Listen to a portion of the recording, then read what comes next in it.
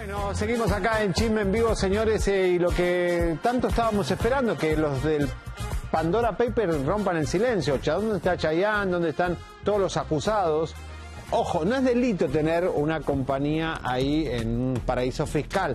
El problema es que vos lo avises a tu país de origen, Chayanne a Estados Unidos y Alejandra Guzmán a México. Para que paguen sus impuestos. Para que paguen sus impuestos, obviamente, si tienen propiedad, la renta a la propiedad, que es por lo cual a Shakira se la pusieron casi en la cárcel. Bueno, Alejandra rompió el silencio finally.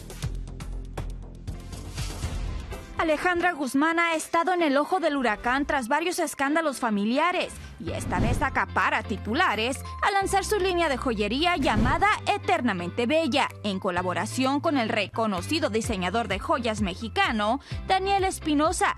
Las piezas reflejan la rebeldía y personalidad de la rockera, que llegó como una candela al lanzamiento de la colección, contenta pero con muy pocas palabras.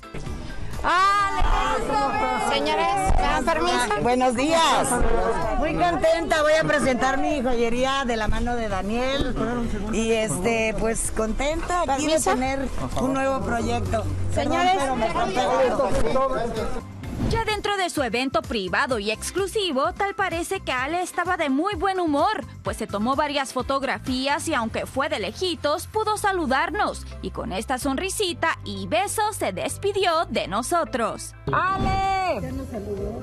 Otra vez, porque no la grabé. ¡Hola! Oh, nos dijo que los dos o los tres. ¡Qué cuernos!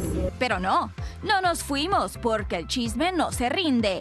A su salida quisimos saber más detalles sobre el escándalo que está protagonizando su hija Frida Sofía y el padre de la rockera, Enrique Guzmán, quien fue señalado de abuso sexual y quien acaba de declarar que ya perdonó a su nieta y no la va a demandar. Alejandra. Alejandra. Estamos acá los demás medios, Alejandra.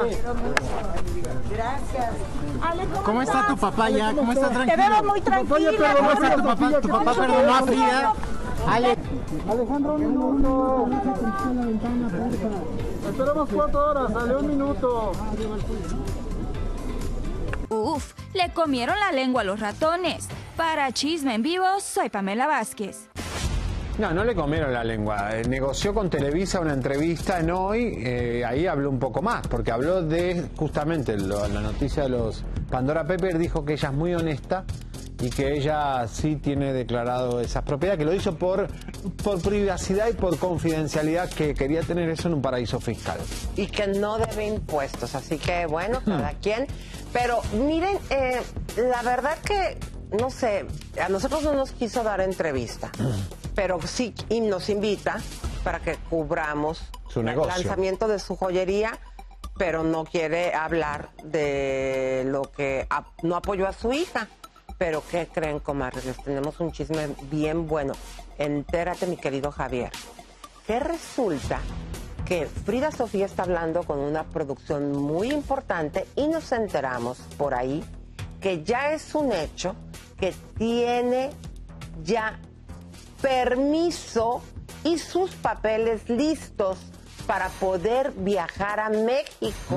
Mm. ¿Se acuerdan que ella estaba en un proceso de residencia cuando no te puedes salir del país? Claro, no puedes salir. Bueno, pues ya lo superó y aquí la uh. situación sería, y nos preguntamos, ¿va a ir a México a ratificar esa demanda contra el perdonavidas de su abuelo? Porque ya mm. ven que dijo que la perdona Obviamente esto lo hizo una vez que Alejandra dijo que ella no iba a hacer nada contra su hija y ya se vio el solo que tenía que pagar.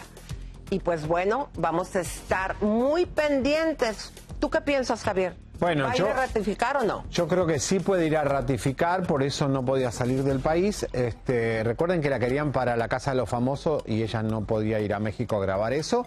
Pero si ahora puede viajar, obviamente tiene que ratificar esta demanda para llegar hasta el final.